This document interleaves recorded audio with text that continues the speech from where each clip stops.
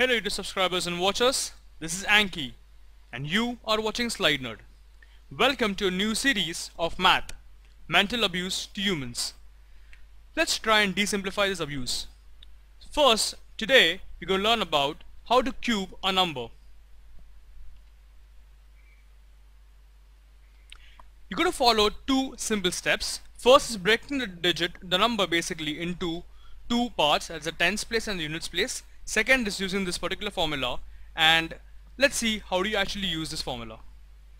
So here I have an example of 54 cube.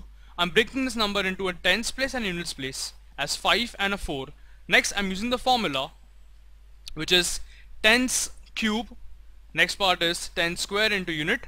Then next is tens into unit square and then is the unit cube. So I, what I get actually is 125, 25 into 4, 5 16, 64. Now the trick out here is to actually stack over the numbers.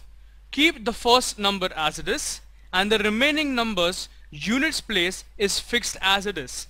So what I get actually is 125 the first number, the units place of 100 is 0, 80 is 0, 64 is 4.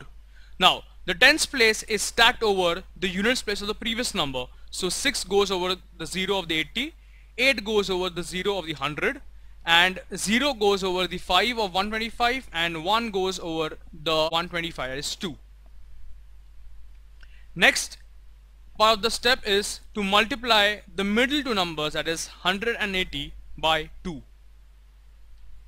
So what I get is 200 and 160.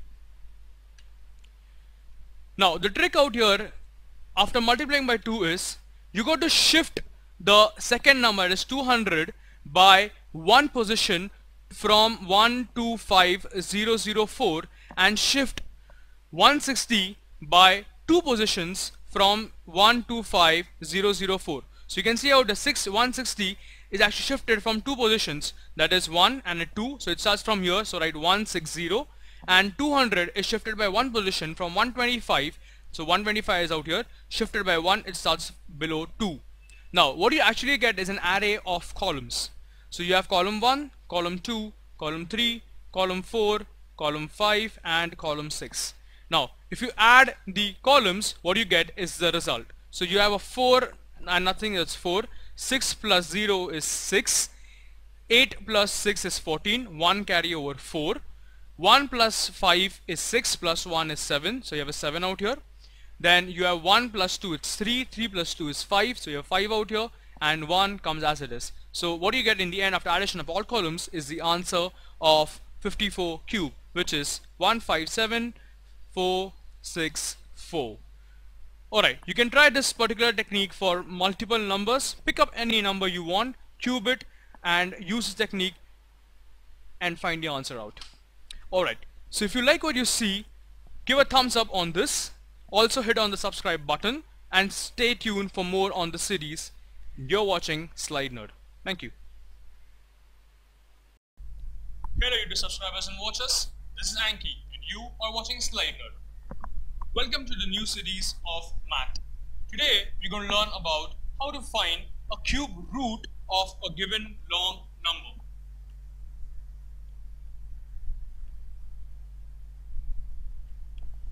Before we go ahead with how ac actually you find out a cube root, let's have a look at the basic cubes of numbers from 1 to 10. So 1 cube is 1, 2 cube is 8, 3 is 27, 4, 64, 5, 125, 6, 216, 7, 343, 8, 512, 9, 729 and 10 is 1000.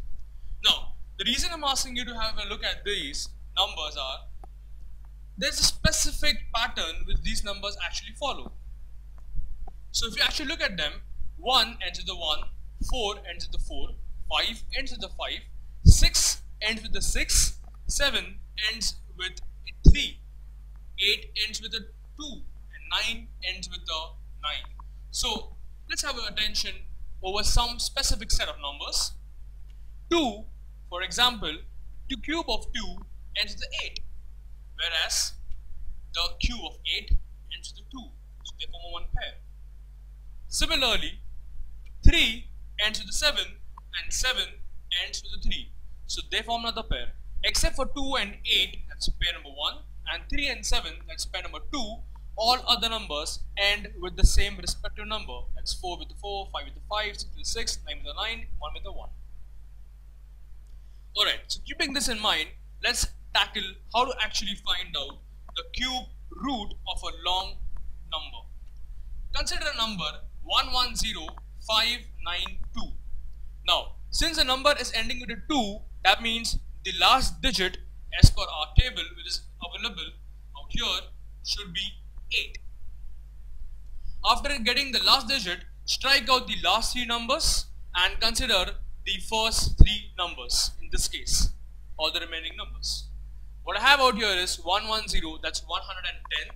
Now if I look at this particular table out here 110 is greater than 4 cube that is 64 but less than 5 cube that is 125 that means it is not crossing 5 hence we're going to use 4 as our tens digit. And hence the answer for 110592 is 48 that is 48 cube is 110592 alright let's look at another example. So if I have a number 250047 let's use the same logic. 7 that means the last number has to be 3 because 3 ends the 7 and 7 ends the 3 so the last number has to be 3 after that strike out the last three numbers and consider the remaining numbers. In this case it is 250 that is 250 now if I look at a table back out here 250 lies between 6 and 7 because 6 it is greater than um, 216 but less than 343 that is 7 cube since it is not crossing 343 we're going to consider 6 as the tens digit. So if I combine together, I have a 6 and I have a 3. So the answer is supposed to be 63, which is actually the answer. Alright, so I hope you've understood this simple technique to find out the cube roots of any big numbers. This will specifically help you in multiple quants or quantitative examinations.